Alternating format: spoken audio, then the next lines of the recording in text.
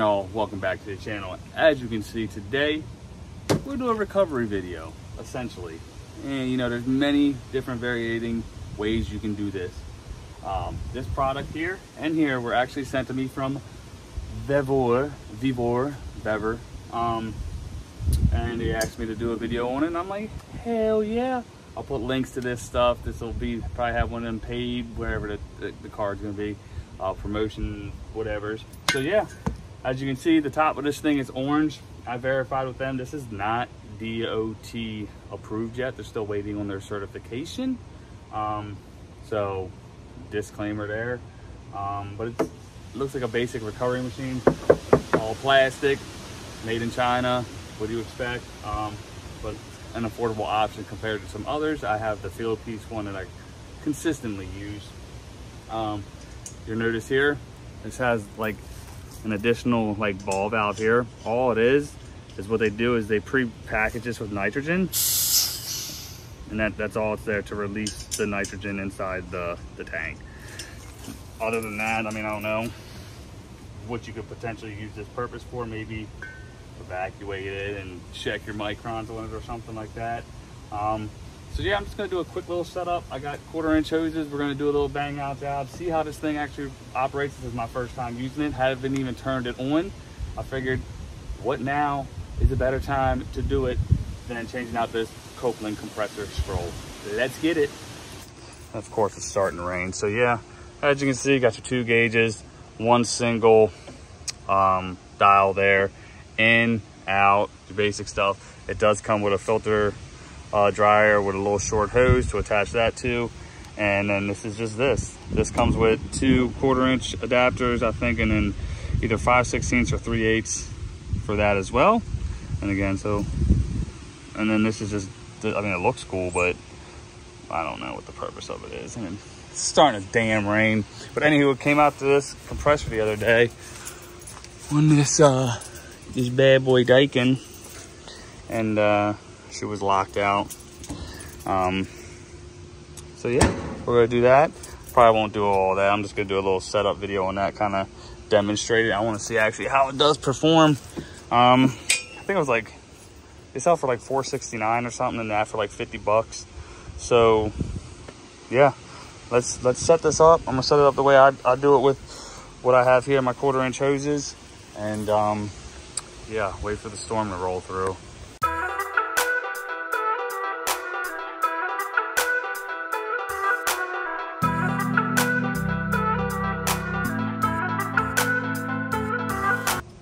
So y'all can see i got my core tools there.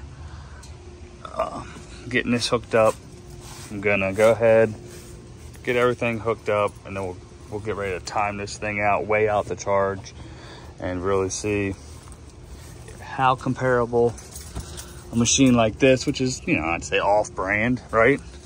Compared to say a Fieldpiece of yellow jacket um the G5 twin or whatever by Avion, Appion. Um, so let me do that in the meantime and we'll get started.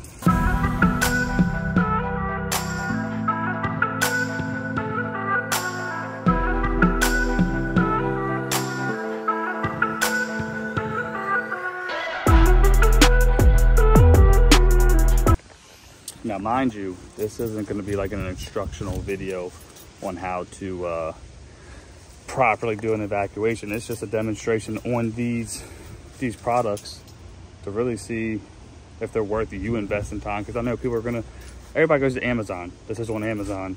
So I'll be the test dummy. I'll be the one. Now, granted, I like free stuff. So I might say it's good, I might not. I mean, is this gonna overtake my Fieldpiece? I don't think so, but it's gonna be good to have. Plus, we got the uh, umbrella out. So, it's a beautiful day. It's a windy bee, but get ready to turn this thing on. All right, so I'm gonna go ahead, I'm gonna purge. Now that's open. I'm gonna purge the other line all the way through. I got this valve shut. As you can see here, I took the Schrader core out of there. This is just, everything's gonna be open here. I got this loose up here. We'll open it. Um, purge the other side. All right. So we're all we're all purged out. As you can see, pressure coming in.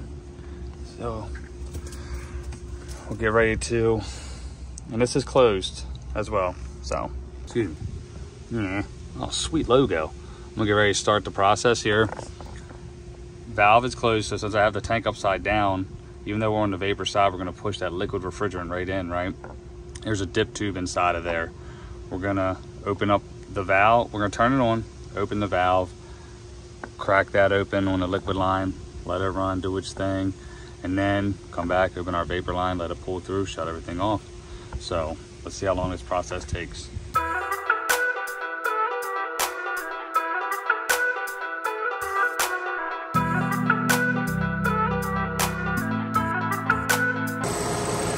About two, two minutes, 40 seconds in. I wanted to put it on here so you can kind of hear how loud that thing is.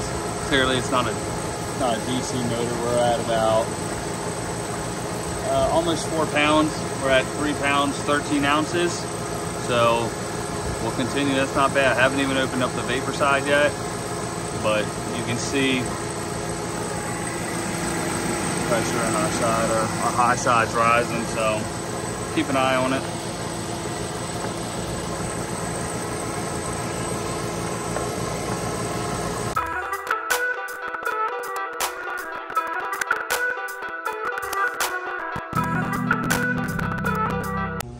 It's not starting back up. It just shut off. Um, so, yeah, look, I mean, which isn't out, out of the realm there for that high pressure side there. On that valve, um, I still have my vapor closed, so it, we're only pulling through the liquid line.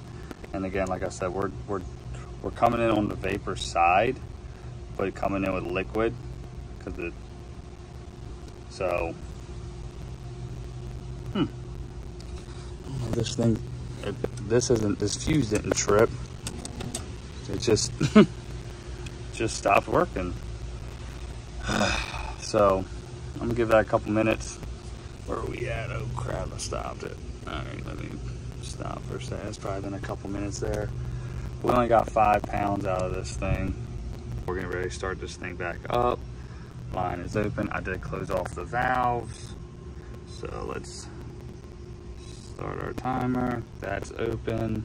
Start this. 10 minutes. All right. Set that. I'm gonna investigate this in the meantime. I mean, there's no way the system only has five and a half pounds of refrigerant in it. Um,